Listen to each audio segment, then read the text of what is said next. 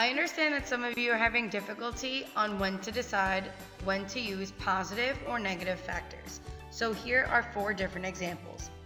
The first example is x squared plus 7x plus 6. Since both of our b and c values are positive, both of our factors will be positive. In this case, we have 6 and 1 because we know 6 times 1 will give you 6 and 6 plus 1 will give you 7. Once again, both of these will be positive since both b and c are positive. Our second expression is now x squared minus 7x plus 6. Again, we can use our factors of 6 and 1, but what's positive and what's negative?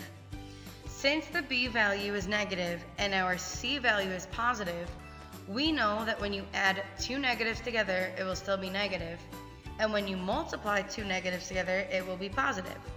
So in this case, both of our factors are negative. Let's move on to our next one.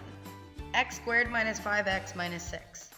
We can use the exact same factors of 6 and 1, but now our signs change.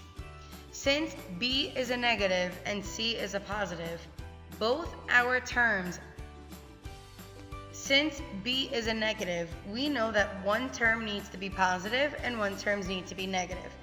However, since our b is negative, the bigger number will be negative and the smaller number will be positive.